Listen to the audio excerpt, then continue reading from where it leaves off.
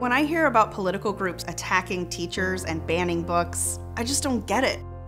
Our kids are too important to let outsiders divide us. Let's work together as parents and teachers to give our kids the best education possible.